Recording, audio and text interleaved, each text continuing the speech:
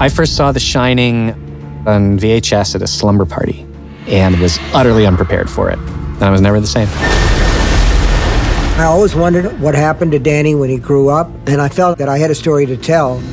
Danny Torrance is still being haunted by the events that took place at the Overlook Hotel.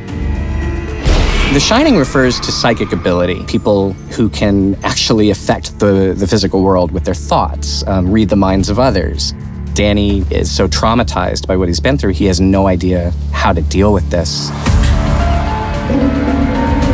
One of the things that I wanted to see was a man at the end of his rope. Aquí has venido. A hacer algo diferente a lo que estaba haciendo, algo mejor. You can't really recover until you finally reach your bottom. And I wanted to see that in Dan on the screen. Dan Torrance's philosophy early on in the story is not to use the shine. He's drunk to suppress the horrible visitations, spirits that are from the Overlook Hotel.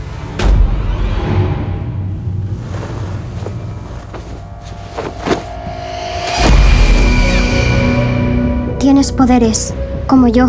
Yo lo llamo el resplandor. This is a story that's about Dan, still out there dealing with the shining in a world that is dark and horrifying. Esos demonios vacíos se comen lo que resplandece.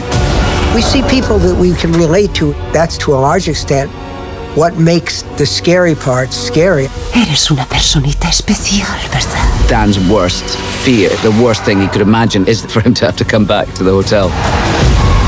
Mike's movie stands on its own, but it's also a terrific sequel to Stanley Kubrick's film. This is for anyone who is going to enjoy being petrified in a movie theater. It was a movie I was desperate to see.